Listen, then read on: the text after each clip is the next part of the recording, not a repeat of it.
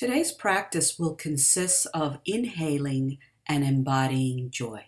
So go to a place of quiet and stillness within, and with every inhalation, visualize that you are inhaling love. As you exhale, exhale joy. Send it to all the corners of the earth. And then inhale joy.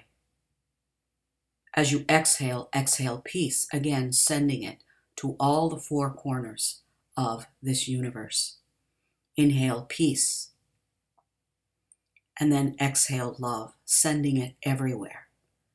And then repeat once more inhale love, exhale joy, inhale joy, exhale peace, inhale peace Exhale love. Inhale love. Exhale joy. Inhale joy. Exhale peace. Inhale peace. And exhale love.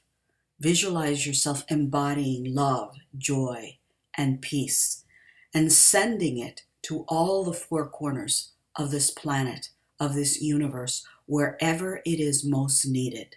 Embody it and then share it.